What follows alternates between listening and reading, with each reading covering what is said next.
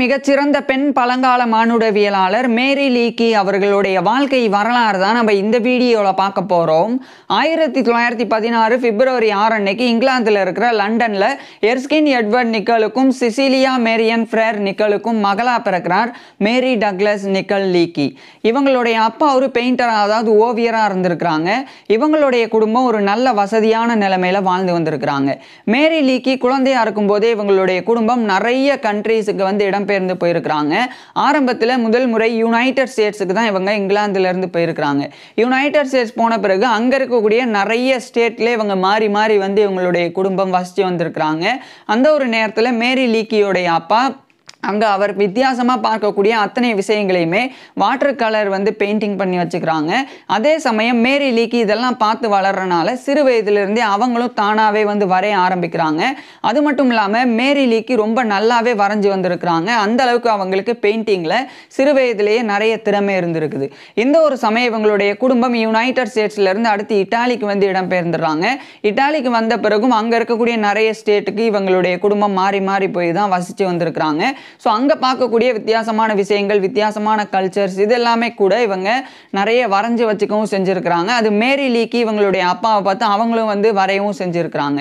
இதுக்கப்புறம் இவங்க இந்த இட்டாலியிலேருந்து ஈஜிப்துக்கு வந்து போயிடுறாங்க. ஸோ அந்த ஈஜிப்துக்கு போன பிறகு அங்கே தான் மேரி லீக்கிக்கு நிறைய ஆர்வம் வந்தது. காரணம் இந்த எஜிப்தாலஜி அப்படின்னு சொல்லுவாங்க. அதாவது எகிப்தில் இருக்கக்கூடிய அந்த பண்டைய மொழி அதே மாதிரி அவங்களுடைய பழங்கார நாகரிகங்கள் அந்த கலாச்சாரங்கள். ஸோ அதுலெல்லாம் மேரி லீக்கிக்கு நிறைய ஆர்வம் வருது.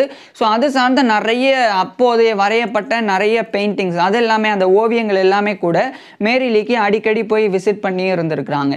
இறுதியாக இவங்களுடைய குடும்பம் ஃப்ரான்ஸுக்கு வந்து வந்துடுறாங்க. ஃப்ரான்ஸ் வந்தது மட்டும் இல்லாமல் ஃப்ரான்ஸ்லேயே சதர்ன் பிரான்ஸ் அதாவது தெற்கு ஃப்ரான்ஸ் பக்கம் தான் இவங்களுடைய குடும்பம் வந்து வசிக்க ஆரம்பிக்கிறாங்க. அங்கே வசிக்க ஆரம்பித்த பிறகு மேரி லீக்கி சிறு வயதுலேருந்தே ஃப்ரான்ஸுக்கு வந்துட்டனால ஃப்ரெஞ்சு மொழியை ரொம்ப வேகமாக வந்து கற்றுக்குறாங்க அது ரொம்ப ஃப்ளூயண்ட்டாகவே இவங்களுக்கு ஃப்ரெஞ்சு மொழி பேச வருது. ஸோ அது மட்டும் இல்லாமல் இந்த ஒரு சமயத்தில் இவங்களுடைய பெயிண்டிங் ஆர்வம் அதிகரிச்சிருந்தது. இவங்களுக்கு இந்த கலைகள் மேலே இருந்த ஆர்வம் அதிகரிச்சிருந்தனால நிறைய பெயிண்டிங் வந்து வரைய ஆரம்பிக்கிறாங்க. இந்த ஒரு சமயம் இவங்களுடைய அப்பா அந்த யுனைடெட் ஸ்டேட்ஸ் இட்டாலி ஈஜிப்த் அப்படின்னு இந்த மூன்று நாடுகளில் அவர் வந்து குறிப்பெடுத்துக்கிட்ட விஷயங்கள் அவர் வந்து பெயிண்டிங் பண்ண அந்த வாட்டர் கலர்ஸ் எல்லாமே வந்து விற்பனை செய்யவும் ஆரம்பிச்சிருந்தாங்க. ஸோ இந்த மாதிரி தான் மேரி லீக்கியோடைய வாழ்க்கை ரொம்பவே நல்லா போயிட்டு இருந்தது கரெக்டாக இந்த ஒரு சமயம் கூட மேரி லீக்கியை இவங்களுடைய ஃபேமிலி வந்து ஆரம்பத்தில் படிக்க வைக்கல. ஆனால் வீட்டில் இருந்தே இவங்களுக்கு கொஞ்சம் கொஞ்சம் அந்த ஆரம்ப கல்வியை வந்து இவங்களுடைய அப்பா அம்மாவே இவங்களுக்கு வந்து சொல்லி கொடுத்து வந்திருக்கிறாங்க. இதுக்கப்புறம் ஆயிரத்தி தொள்ளாயிரத்தி இருபத்தி அஞ்சாம் ஆண்டு கரெக்டாக மேரி லீக்கிக்கு பன்னிரெண்டு வயது இருக்கும்போது இவங்களுடைய குடும்பம் வந்து இந்த லெஸ் ஐசி ஐசிஸ் அப்படின்ற இடத்துக்கு வந்து இடம் பெயர்ந்துடுறாங்க ஸோ அதுவுமே வந்து ஃப்ரான்ஸில் தான் இருக்குது அங்கே போன பிறகு தான் எலி பெரோனி அப்படின்ற ஒரு ஆர்கியாலஜிஸ்ட் ஸோ அவரை பற்றி இவங்க வந்து தெரிஞ்சுக்கிறாங்க. அது மட்டும் இல்லாமல் அந்த ஆர்கியாலஜிஸ்ட் வந்து நிறைய இந்த பழங்கால சார்ந்த அந்த தொல்பொருள்கள் அதெல்லாமே வந்து இவர் நிறைய விஷயங்களை வந்து கண்டறிஞ்சிருந்தாங்க. அந்த ரெமன்ஸ் அப்படின்னு சொல்லுவாங்க. அதாவது இந்த எச்சங்கள் அப்படின்னு சொல்லி. ஸோ அந்த பழங்கால எச்சங்கள் அந்த ஃபாசில்ஸ் புதைப்படிவங்கள் அதெல்லாமே கூட நிறைய அந்த ஆர்கியாலஜிஸ்ட் எலி அப்படின்றவர் வந்து வச்சுருந்தாங்க அந்த எலி பெரோனி அப்படின்றவர். ஸோ அதெல்லாமே வந்து இவங்க தெரிஞ்சுக்கிறாங்க. அதாவது மேரிலிக்கு சிறு வயதிலே தெரிஞ்சுக்கிறாங்க. தெரிஞ்சுக்கிறது மட்டும் இல்லாமல் அவங்களுடைய அந்த டிக்கெல்லாம் பார்க்கணும் அப்படின்னு ஆசைப்பட்றாங்க. ஸோ அதுக்கு வந்து அந்த ஆர்கியாலஜிஸ்டான அந்த எலி பெரோனி அப்படின்றவர் வந்து ஒத்துக்கிறாங்க. சரி வந்து பாருங்க அப்படின்னு சொல்லி.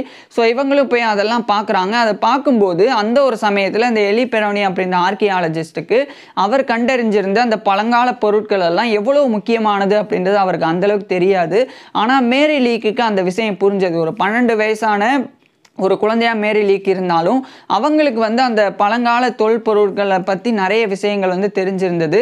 அது மட்டும் இல்லாமல் அதோடைய முக்கியத்துவம் இவங்களுக்கு புரிஞ்சுது. இதனால இந்த ஒரு பன்னிரெண்டு வயதில் தான் இவங்களுக்கு இந்த ஆர்கியாலஜி மேலே இந்த தொல்பொருள் ஆய்வுகள் மேலே நிறைய ஆர்வம் வருது. அது மட்டும் இல்லாமல் நிறைய இந்த மாதிரி தொல்பொருள் ஆய்வாளர்களெல்லாம் இவங்க சந்திச்சு அவங்க சேகரிச்சிருந்த நிறைய கலெக்ஷன்ஸ்லாம் அவங்க வந்து பார்க்கவும் ஆரம்பிக்கிறாங்க. அது மட்டும் இல்லாமல் இந்த காலகட்டத்திலேயே மேரி லீக்கி வந்து அவங்களால முடிஞ்ச அளவுக்கு நிறைய விஷயங்கள் வந்து குறிப்பாக சொல்லப்போனால் அந்த தொல்பொருள் ஆராய்ச்சிக்கு பயன்படக்கூடிய டூல்ஸ் அந்த மாதிரியான கருவிகள் கூட மேரிலிக்கு வந்து எடுத்துக்கிறாங்க. ஸோ அதை எடுத்துக்கிட்டு இவங்களே கூட சிறு வயதிலேயே தொல்பொருள் ஆராய்ச்சிலாம் மேற்கொள்ள ஆரம்பிக்கிறாங்க. இந்த ஒரு காலகட்டத்தில் இவங்களுடைய குடும்பம் இந்த லெஸ் ஐஸ் ஐசிஸ் அப்படின்ற இந்த ஒரு இடத்துல இருந்து கேப்ரரெட்ஸ் அப்படின்ற இன்னொரு இடத்துக்கு போயிடுறாங்க. இதுவுமே வந்து ஃப்ரான்ஸில் தான் இருக்குது. ஸோ அங்கே போன பிறகு அங்கேயுமே கூட தொடர்ந்து வந்து மேரிலிக்கு நிறைய விஷயங்கள் இந்த மாதிரி தொல்பொருள் விஷயங்கள் சார்ந்த விஷயங்கள் பழங்காலவியல் இதிலெல்லாம் நிறைய ஆர்வத்தோட தான் இயங்கி வந்திருக்கிறாங்க.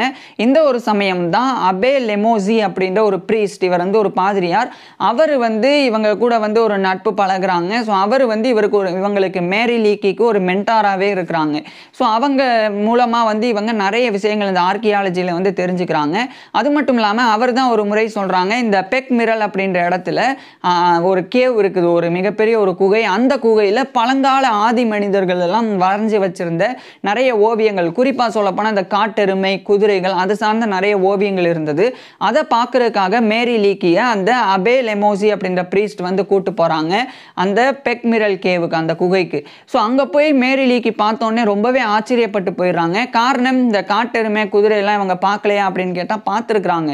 ஆனால் அவங்க வச்சு வரைஞ்சி வச்சிருந்தது வந்து பழங்கால ஆதி மனிதர்கள் வரைஞ்சி வச்சிருந்த ஓவியங்கள். ஸோ அதனால பழங்காலத்தில் எப்படி காட்டெருமை இருந்தது எப்படி குதிரை இருந்தது? ஸோ சில மாற்றங்கள் இருக்கும். ஸோ அதைத்தான் வந்து மேரிலிக்கு வந்து பார்க்குறாங்க இவங்களுக்கு ரொம்பவே அதை பார்க்கும்போதே ஒரு ஆச்சரியமான ஒரு விஷயமா இருந்தது. ஸோ மேரிலிக்கு முடிவு பண்ணிடுறாங்க. இனி வந்து ஒரு ஆர்கியாலஜிஸ்டாக வந்து மாறணும். அது மட்டும் இல்லாமல் ஒரு ஆந்த்ரபாலஜிஸ்டாகவும் அதாவது இந்த மானுடவியலாளர் ஸோ அதுவாகவும் மாறணும். ஆதி மனிதர்கள் பற்றி நிறைய விஷயங்கள் தெரிஞ்சுக்கணும் அப்படின்றது இவங்களுடைய எண்ணமாக இருந்தது. அதுவும் குறிப்பாக பேலியோ ஆந்த்ரபாலஜிஸ் அதாவது பேலியோ ஆந்த்ரபாலஜிஸ் அப்படின்னு சொல்லும்போது தொல் மானுடவியலாளர் ஆளர் அப்படின்னு கூட சொல்லலாம். அதே மாதிரி பழங்கால மானுடவியலாளர் அப்படின்னு கூட சொல்லலாம். இது வந்து காரணம் என்ன அப்படின்னா பழங்காலத்தில் அதாவது மனிதர்கள் அதே மாதிரி குரங்குகள் இந்த இரண்டு இனத்துக்கு நடுவில் பரிணாம வளர்ச்சி அடைஞ்சிருந்த மனித இனம். ஸோ அந்த ஒரு இனத்தை சார்ந்த ஒரு ஆராய்ச்சி தான் இந்த மானுடவியலாளர். அதுவும் குறிப்பாக பேலியோ ஆந்த்ரபாலஜிஸ்ட் அப்படின்றது. ஸோ அந்த ஆந்த்ரபாலஜி இந்த பேலியோ ஆந்த்ரபாலஜிஸ்டாக தான் இவங்க மேரி லீக்கி ஆகணும் அப்படின்னு சொல்லி ஆசைப்பட்டிருக்கிறாங்க. இந்த ஒரு ச தருணம் தான் இவங்களுடைய குடும்பத்தில் ஒரு மிகப்பெரிய பிரச்சனை. அதாவது ஆயிரத்தி தொள்ளாயிரத்தி இருபத்தாறாம் ஆண்டு மேரி லீக்கிக்கு வெறும் பதிமூணு வயசு இருக்கும்போது இவங்களுடைய அப்பா வந்து திடீர்னு இறந்து போயிடுறாங்க கேன்சர்னால. ஸோ அவங்களுடைய அப்பா இறந்து போன பிறகு இவங்களுடைய அம்மா அதை நினச்சி ரொம்ப வருத்தப்பட்டிருக்கிறாங்க. அது மட்டும் இல்லாமல் இவங்க வாழ்ந்து வரக்கூடிய ஃப்ரான்ஸில் இருந்து மறுபடியும் இங்கிலாந்தில் இருக்கிற லண்டனுக்கே இவங்களை கூட்டு வந்துடுறாங்க மேரி ஸோ இவங்க சிறு வயதில் இங்கிலாந்தில் லண்டனில் தான் பிறந்தாங்க. அதுக்கப்புறம் யுனைடெட் ஸ்டேட்ஸ் இத்தாலி எஜிப்த் அதுக்கப்புறம் ஃப்ரான்ஸ் அப்படின்னு எக்கச்சக்கமான இடங்களுக்கு போயிட்டு இவங்களுடைய பதிமூணாவது வயதில் தான் மறுபடியும் இங்கிலாந்தில் இருக்கிற லண்டனுக்கே வர்றாங்க. வந்த பிறகு மேரி லீக்கியோடைய அம்மா மேரி லீக்கியை படிக்க வைக்கணும். இனிமேல் இங்கே தான் செட்டிலாக இருக்க போகிறோம் அப்படின்னு சொல்லி முடிவு பண்ணுறாங்க ஸோ அதுக்காக இவங்களை வந்து படிக்க வைக்கிறதுக்காக ஒரு லோக்கல் கத்தோலிக் கான்வென்ட்டுக்கு வந்து அனுப்புகிறாங்க அங்கே அனுப்புகிற பிறகு இந்த ஆயிரத்தி தொள்ளாயிரத்தி இருபத்தாறாம் ஆண்டு தான் மேரி லீக்கு போய் படிக்க ஆரம்பிக்கிறாங்க. இவங்களுக்கு ரொம்பவே நல்லா ஃப்ரெஞ்ச் மொழி தெரிஞ்சிருந்தது. இருப்பினும் கூட அந்த ஃப்ரெஞ்ச் லாங்குவேஜ் சார்ந்த அந்த படிப்பில் வந்து இவங்களால் அந்தளவுக்கு ஜொலிக்க முடியல. அது மட்டும் இல்லாமல் முழுக்க முழுக்க இவங்களுக்கு இந்த ஆர்கியாலஜி மேலே இருந்த ஆர்வம் இவங்களை படிக்க விடாமலே ஆக்கிறது ஸோ அதனால இவங்களை வந்து இவங்களுடைய டீச்சர் வந்து ஒரு பொயட்ரி சொல்ல சொல்கிறாங்க ஆனால் அதுக்கு வந்து அந்த கவிதையெல்லாம் அவங்க சொல்ல மாட்டேன் அப்படின்னு மறுக்கிறாங்க. ஸோ இந்த அளவுக்கு வந்து ஒரு கட்டுப்படாத குழந்தை நமக்கு வேணாம் அப்படின்னு சொல்லி அவங்க அந்த ஒரு கான்வென்ட் ஸ்கூல்லேருந்து இவங்களை வெளியேற்றிடுறாங்க இதுக்கப்புறம் இவங்களுடைய அம்மா வேறு ஒரு செகண்ட் லோக்கல் கான்வென்ட் கான்வென்ட்டுக்கு வந்து அனுப்புகிறாங்க அங்கே போனால் இன்னும் ஒரு மிகப்பெரிய பிரச்சனை மேரிலிக்கு பண்ணிடுறாங்க. அதாவது அங்கே போய் ஒரு கெமிஸ்ட்ரி லேபில் ஒரு மிகப்பெரிய ஒரு ஆராய்ச்சி நடக்கும்போது மேரிலிக்கும் ஏதோ பண்ணுறேன் அப்படின்னு சொல்லி ஒரு மிகப்பெரிய ஒரு வெடிப்பை வந்து ஏற்படுத்திடுறாங்க. ஸோ இதனால இவங்களை மறுபடியும் இந்த ஒரு கான்வென்ட் ஸ்கூல்லேருந்துமே மேரிலிக்கியை மேரி லீக்கியை வந்து வெளியே அனுப்பிடுறாங்க. ஸோ இந்த நேரம் வந்து மேரிலிக்கியோடைய அம்மா வந்து ரொம்ப வருத்தப்பட்டிருக்கிறாங்க. இப்போது மறுபடியும் ஸ்கூலுக்கு அனுப்புனா இதே மாதிரி தான் பண்ணிட்டு வருவாங்க மேரி லீக்கி அப்படின்னு சொல்லி ரெண்டு டூட்டர்ஸை வந்து நியமிக்கிறாங்க. அதாவது டூட்டர்ஸ் அப்படின்னு சொல்லும்போது வீட்டுக்கே வந்து சொல்லிக் கொடுக்கக்கூடிய ப்ரைவேட் டூட்டர்ஸ் அதாவது சொல்லிக் கொடுக்கக்கூடிய தனிப்பட்ட ஆசிரியர்கள்.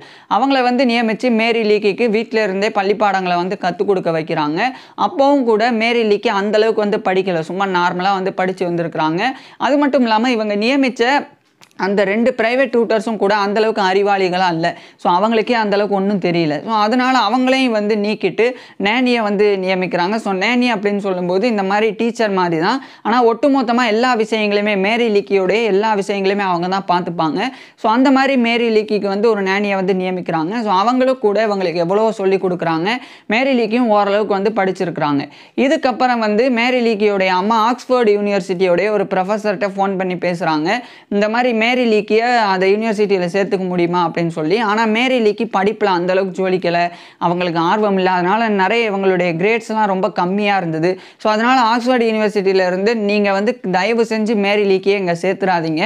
அவங்க வந்து ஒன்றுமே படிக்க மாட்டாங்க. அவங்களுடைய டேலண்ட் அந்த அளவுக்கு ஸ்டடீஸில் கிடையாது. அதனால நாங்கள் சேர்த்துக்கவும் முடியாது. சேர்த்துக்கிட்டு இவங்களுக்கு டிகிரியும் கொடுக்க முடியாது அப்படின்னு ஆக்ஸ்ஃபோர்ட் யூனிவர்சிட்டி மறுத்துடுறாங்க.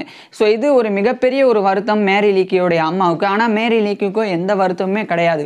அவங்க என்ன பண்ண ஆரம்பிக்கிறாங்க? இந்த ஆர்கியாலஜி சம்மந்தமாக அதாவது இந்த தொல்பொருள் ஆய்வுகள் சம்மந்தமாக நிறைய லெக்சர்ஸ் விரிவுரைகள் எல்லாமே சில யூனிவர்சிட்டிஸில் வந்து வழங்கப்பட்டது. ரொம்ப ஃப்ரீயாகவே வழங்கப்பட்டது.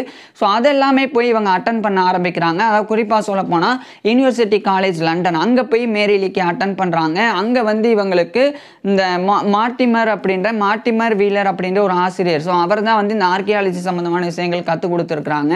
அதே மாதிரி லண்டன் மியூசியம். ஸோ அங்கேயும் போய் ஆர்கியாலஜி சம்மந்தமான விஷயங்களை லெக்சர்ஷிப்லாம் அட்டன் பண்ணியிருக்கிறாங்க. ஸோ இந்த மாதிரி தான் இவங்களுடைய வாழ்க்கை போயிட்டு இருந்தது ஆயிரத்தி தொள்ளாயிரத்தி முப்பது வரைக்கும். அப்போது இவங்களுடைய பதினேழு வயதில் அந்த ஆயிரத்தி தொள்ளாயிரத்தி முப்பதாம் ஆண்டு தான் மேரி லீக்கி வந்து ஹெம்ஃப்ரிக்கு வந்து அனுப்பப்படுறாங்க. இது வந்து வீலர் அந்த எம் வீலர் அப்படின்ற அந்த ஒரு ஆர்கியாலஜி ஸோ அவருடைய அந்த ஆர்கியாலஜிஸ் மூலமாக தான் இவங்க வந்து அனுப்பப்படுறாங்க. ஸோ அந்த ஹெம்ப்ரியிலே இவங்க மேற்கொண்டு நிறைய விஷயங்கள் கற்றுக்கிறதுக்காக ஆராய்ச்சி பண்ணுறதுக்காக இப்படி அனுப்பும்போது அங்கே வந்து டோ டோரத்தி லிட்டில் அப்படின்றவங்க தான் வந்து ஒரு ஆர்கியாலஜிஸ்ட்டாக இருந்தாங்க. ஸோ அவங்களுக்கு கீழே தான் இவங்களுடைய ஆராய்ச்சி பணிகளை வந்து மேற்கொள்ள ஆரம்பிக்கிறாங்க. அடுத்த இரண்டு ஆண்டுகள் இதே மாதிரியே செஞ்சு வந்திருக்கிறாங்க. கரெக்டாக ஆயிரத்தி தொள்ளாயிரத்தி முப்பத்தி ரெண்டாம் ஆண்டு தான் இவங்க வந்து ஒரு முடிவு பண்ணிடுறாங்க மேரிலிக்கு நம்ம வந்து இனி இல்லிஸ்ட்ரேட்டராக மாறிடுவோம் அப்படின்னு. அதாவது இந்த ஆர் ஆரை ஆர்கியாலஜி சம்மந்தமான நிறைய புத்தகங்கள் எழுதியிருப்பாங்க. அந்த புத்தகங்களை வந்து இல்லிஸ்ட்ரேட் பண்ணுறது விளக்கி சொல்ல சொல்கிறது ஸோ அந்த ஒரு பணியை வந்து மேரி லீக்கி பண்ணலாம் அப்படின்னு சொல்லி முயற்சி பண்ணுறாங்க இது வந்து நான் உதாரணத்துக்கு சொல்கிறேன் ஸோ அது ஆயிரத்தி தொள்ளாயிரத்தி முப்பத்தி ரெண்டாம் ஆண்டுல இருந்து தான் மேரி லீக்கி வந்து ஸ்டார்ட் பண்ணுறாங்க ஸோ இந்த மாதிரி இந்த டோர்த்தி லிண்டில் அவங்களுடைய புத்தகத்தை தான் நிறைய வந்து இவங்க அந்த இல்லிஸ்ட்ரேட் வந்து பண்ணுறாங்க நிறைய இடங்களுக்கு ஒரு பத்தொம்போது வயசுலேயே ஆயிரத்தி தொள்ளாயிரத்தி முப்பத்தி ரெண்டாம் ஆண்டு அதை வந்து நிறைய பேருக்கு வந்து விளக்குறாங்க. ஸோ அது இவங்க விளக்குறது ஆர்கியாலஜி சம்மந்தமான விஷயங்கள் விளக்குறது நிறைய பேருக்கு இன்னும் இன்ட்ரெஸ்டிங்காகவும் இருந்தது ரொம்ப அண்டர்ஸ்டாண்டிங்காகவும் இருந்தது. இதனால இவங்களை தான் விரும்ப ஆரம்பிச்சிருந்தாங்க. அப்போ தான் இந்த டோரத்தி லிட்டில் அப்படின்றவங்க இன்னொரு ஒருத்தவங்களை வந்து அறிமுகப்படுத்துகிறாங்க கெர்ட்ரூட் கேட்டன் தாம்சன் அப்படின்றவங்க. ஸோ அவங்க வந்து என்ன பண்ணுறாங்க அவங்களுக்கும் ஒரு இல்லிஸ்ட்ரேட்டர் தேவை. இந்த புக் எல்லாமே வந்து விளக்கணும் அப்படின்னு சொல்லி சொல்கிறாங்க ஸோ அதுக்கு வந்து மேரி லீக்கி தான் சூட்டபிளாக இருப்பாங்க அப்படின்னா அவங்களும் மேரி லீக்கியே தேர்ந்தெடுக்கிறாங்க. ஸோ அவங்களுக்காகவும் இவங்க வந்து ஒர்க் பண்ணுறாங்க அப்போ அவங்க வந்து த டெசர்ட் த டெசர்ட் ஃபயம் அப்படின்ற ஒரு புக்கு ஸோ அதுக்கு வந்து இவங்க தான் விரிவுரை கொடுக்குறாங்க. மேரி லீக்கி தான். இதெல்லாமே ஆயிரத்தி தொள்ளாயிரத்தி முப்பத்தி மூணு இந்த ஒரு காலகட்டத்தில் வந்து நடக்குது.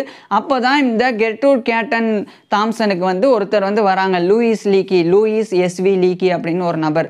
அவர் வந்து ஏற்கனவே மேரேஜ் ஆனவர். ஸோ அவர் வந்து என்ன பண்ணுறாங்கன்னா இந்த மாதிரி எனக்கு வந்து என்னுடைய புக்கு நான் ஒன்று எழுதிட்டு இருக்கேன். ஆடம்ஸ் ஆன்செஸ்டர்ஸ் அப்படின்னு. அந்த புக்குக்கு வந்து ஒரு இல்லிஸ்ட்ரேட்டர் தேவை அப்படின்னு அழைக்கிறாங்க. அப்போ இந்த கெர்டூர் கேட்டன் தாம்சன் வந்து மேரி லீக்கி வந்து ஒரு நல்ல இல்லிஸ்ட்ரேட்டர் அப்படின்றனால இவங்களை வந்து அறிமுகப்படுத்துகிறாங்க ஸோ மேரி லீக்கியும் அந்த லூயிஸ் எஸ்வி லீக்கி ரெண்டு பேருமே வந்து ஒரு அண்டர்ஸ்டாண்டிங்குள்ளே வந்துடுறாங்க. ஸோ அவங்களுடைய புக்கான அந்த ஆடம்ஸ் ஆன்செஸ்டர்ஸ் ஸோ அதுக்குண்டான இல்லிஸ்ட்ரேட் இல்லிஸ்ட்ரேட்டிங் ஒர்க்கை வந்து இவங்க பண்ணுறேன் அப்படின்னு சொல்லிடுறாங்க. ஸோ இதுக்கு நடுவில் இவங்க ரெண்டு பேருக்குள்ள ரொமான்டிக் இன்வால்மெண்ட்டும் ஏற்படுது. ஸோ காதலும் வந்து ஏற்படுது.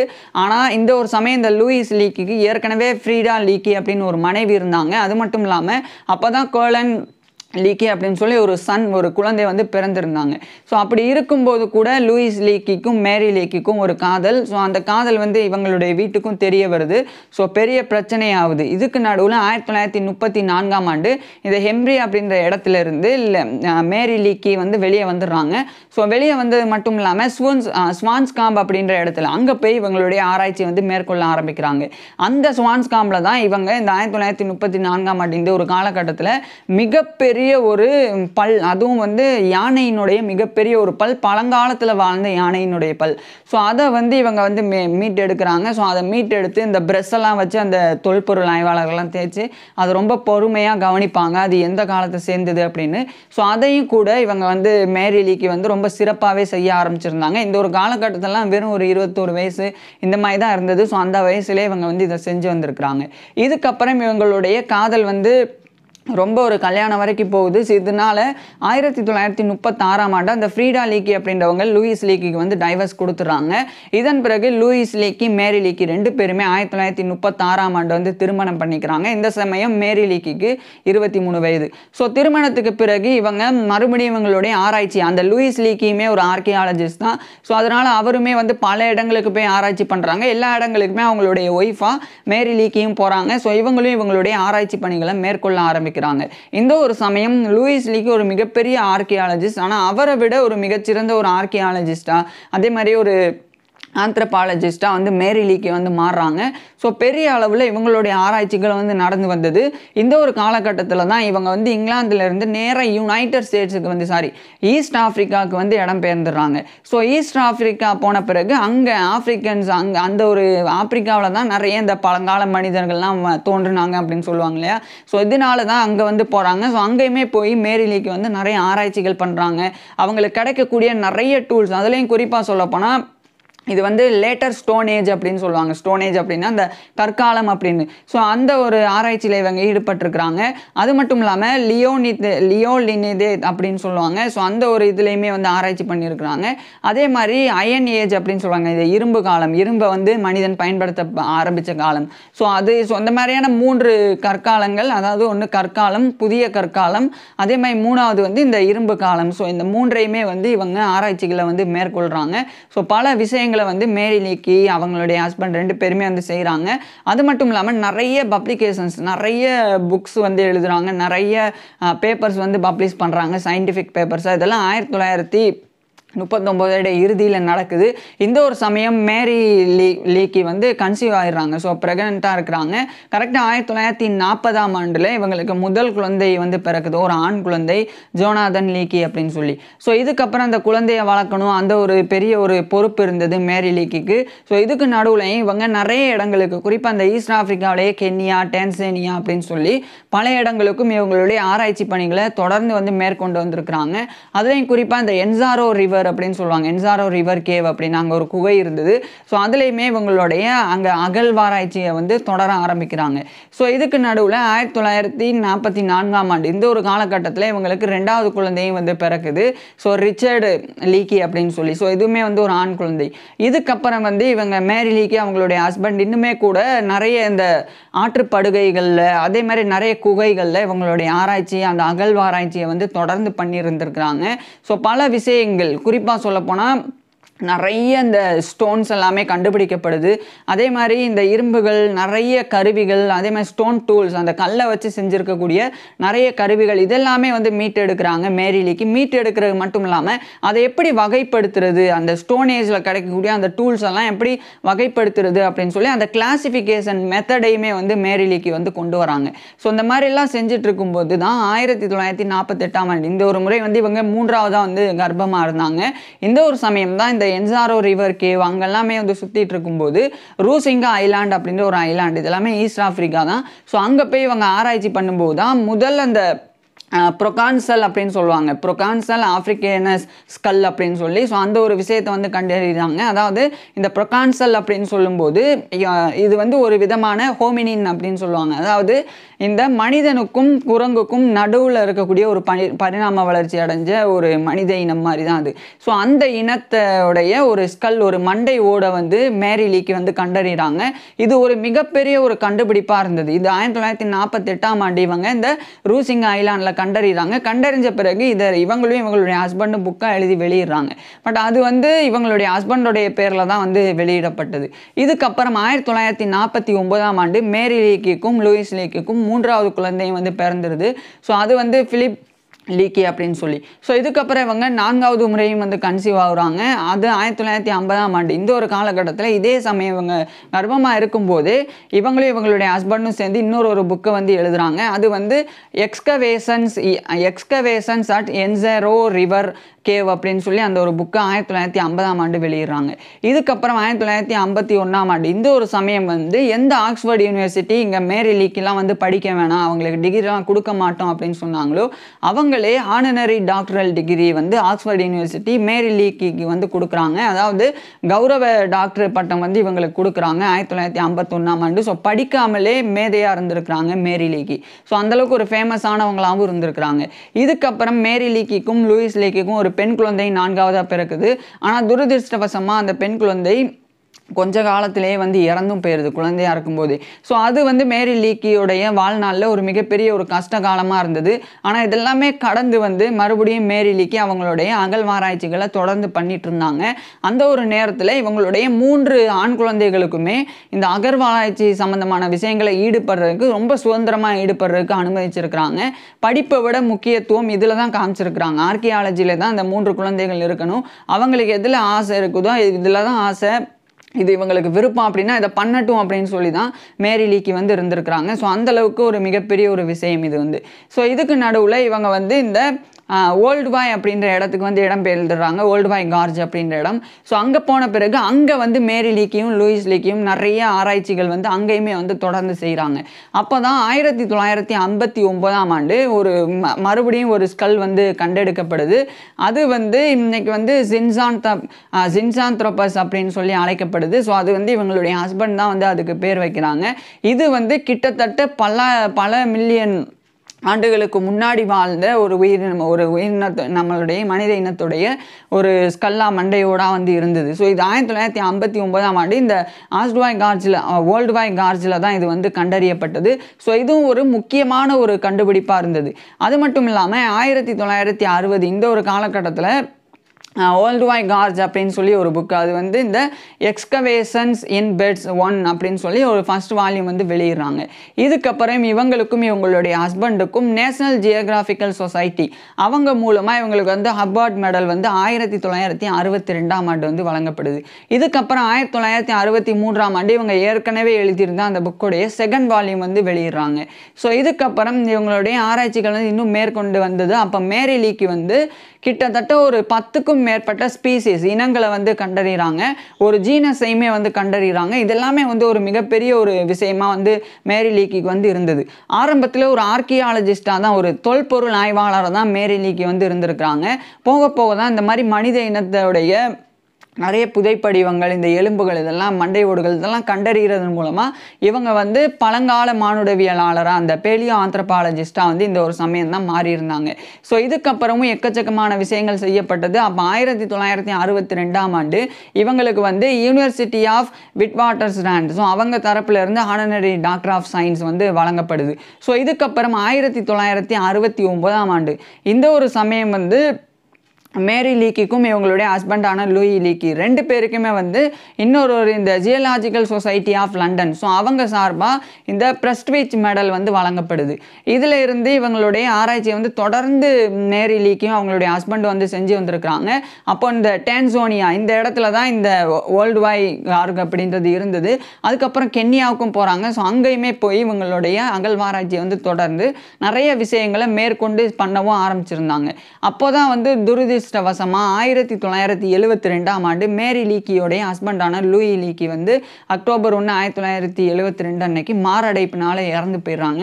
ஸோ அவர் இறந்து போன பிறகு மேரி லீக்கி அவங்களுடைய மூன்று ஆண் குழந்தைகள். ஸோ அவங்க வந்து தனித்து விடப்படுறாங்க.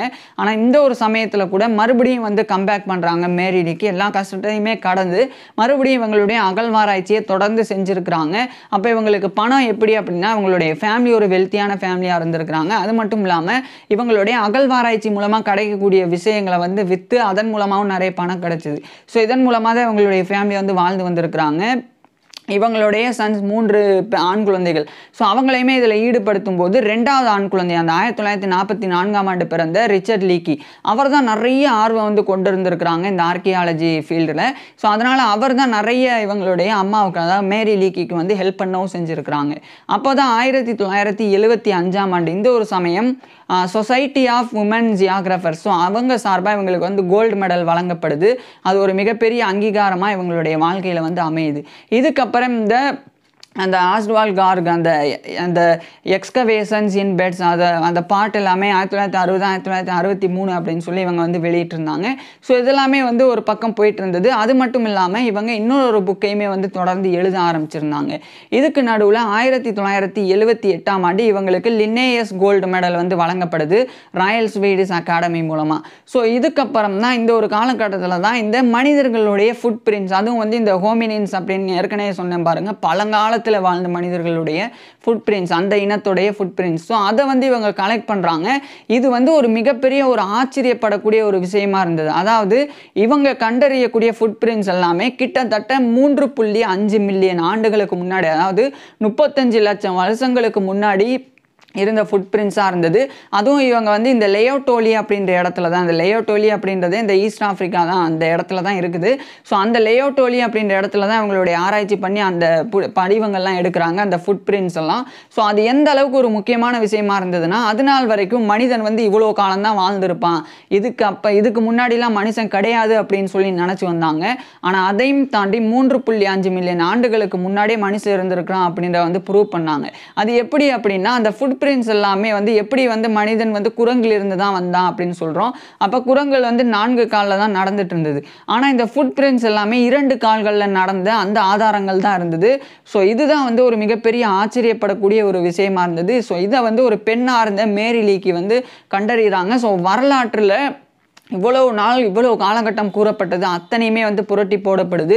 எல்லாமே அப்போ தவறா அப்படின்னு சொல்லி அப்போ அதுக்கு முன்னாடியும் மனுஷன் இருந்திருக்கிறான் அப்படின்னு இதுக்கப்புறம் வந்து நம்பப்பட்டது. ஸோ இது எல்லாத்துக்குமே முக்கியமான காரணமாக மேரி லீக்கியோடைய அந்த ஃபுட் பிரிண்ட்ஸோடைய டிஸ்கவரியாக வந்து அமையுது. ஸோ இதனால ஆயிரத்தி தொள்ளாயிரத்தி எழுபத்தி ஒன்பதாம் ஆண்டு இந்த ஒரு காலகட்டத்தில் கூட இவங்களுக்கு நிறைய விருதுகள். அப்போ ஃபாரின் ஆனரரி மெம்பராக American academy of arts and சயின்ஸில் வந்து இவங்க தேர்ந்தெடுக்கப்படுறாங்க. அப்போ அதே ஆயிரத்தி தொள்ளாயிரத்தி எழுபத்தி ஒன்பதாம் ஆண்டு இவங்க இவங்களுடைய புக்கு அந்த ஆஸ்ட் பை கார்க் அப்படின்னு சொல்லி my search for early man அப்படின்னு ஒரு புக்கை வந்து ஆயிரத்தி தொள்ளாயிரத்தி எழுபத்தொம்பதாம் ஆண்டு வெளியிடுறாங்க. இது ரொம்ப ரொம்ப ரொம்ப ஃபேமஸான ஒரு புக்காக வந்து இவங்களுக்கு அமையுது. இதுக்கப்புறம் ஆயிரத்தி தொள்ளாயிரத்தி எண்பதாம் ஆண்டு இந்த ஒரு காலகட்டத்தில் இவங்களுக்கு எலிசபெத் பிளாக்வெல் அவார்டு வந்து வழங்கப்படுது.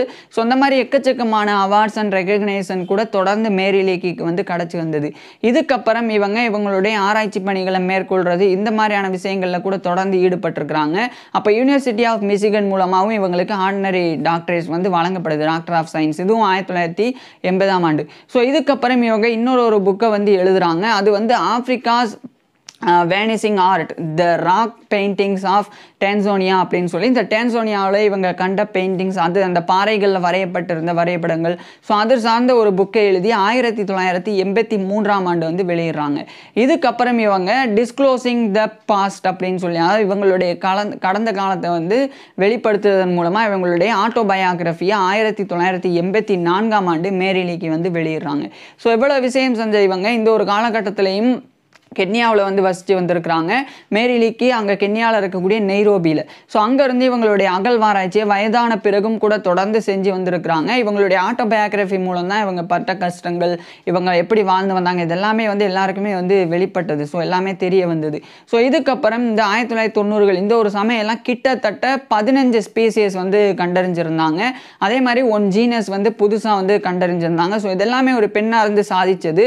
அதுவும் குறிப்பாக அந்த ஆந்திரபாலஜி அதுவும் பெலியா ஆந்த்ரபாலஜி ஃபீல்டில் ஆர்கியாலஜி ஃபீல்டில் வந்து இந்த சாதனை பண்ணது ஒரு பெண் பண்ணது அப்படின்றது ஒரு மிகப்பெரிய ஒரு விஷயம். ஸோ இவங்க வந்து எக்கச்சக்கமான விஷயம் பண்ண இவங்க ஆயிரத்தி தொள்ளாயிரத்தி தொண்ணூற்றி நான்காம் ஆண்டு கூட ஒரு புக்கை வந்து எழுதி வெளியிடுறாங்க. இந்த ஆஸ்ட்வால் கார்க் சம்மந்தமாக ஸோ இதெல்லாமே செஞ்சுட்டு இறுதி ஆயிரத்தி தொள்ளாயிரத்தி தொண்ணூற்றி ஆறாம் ஆண்டு டிசம்பர் ஒம்பது அன்னைக்கு இவங்களுடைய எண்பத்தி மூணு வயதில் மேரி லீக்கி வந்து இறந்து போயிடுறாங்க. கென்யாவில் இருக்கக்கூடிய நெய்ரோபிலேயே. ஸோ இவங்களுடைய மகன்கள் மூன்று பேர் வந்து சொன்ன விஷயம் வந்து அவங்க ரொம்ப பீஸ்ஃபுல்லாக தான் இறந்து போனாங்க. அதாவது அவங்களுடைய டெத்தோடைய ரீசன் என்ன அப்படின்றது சொல்லலாம். அதுக்கு மாற அவங்க சொன்ன விஷயம் வந்து ரொம்ப அமைதியான ஒரு மரணம் தான் ரொம்ப ஒரு நிம்மதியான ஒரு மரணம் தான் மேரி மேரி லீக்கிக்கு வந்து இருந்தது அப்படின்றத வந்து அவங்க சொல்லியிருந்தாங்க. ஸோ இதுக்கப்புறம் எக்கச்சக்கமான அங்கீகாரங்கள் வந்து மேரி லீக்கி இறந்த பிறகும் கூட கிடச்சிது. ஆனால் இவங்க அந்த பதினஞ்சு ஸ்பீசிஸும் ஒன் ஜீனஸும் கண்டுபிடிச்சது. அதே மாதிரி இந்த பழங்கால மனிதர்கள் வந்து இவ்வளோ காலம்தான் வாழ்ந்திருப்பாங்க அப்படின்னு நினைக்கும்போது அதுக்கு முன்னாடியே வாழ்ந்திருக்கிறாங்க அப்படின்ற வெளிப்படுத்தினலாம் சாதாரணமான விஷயம் கிடையாது.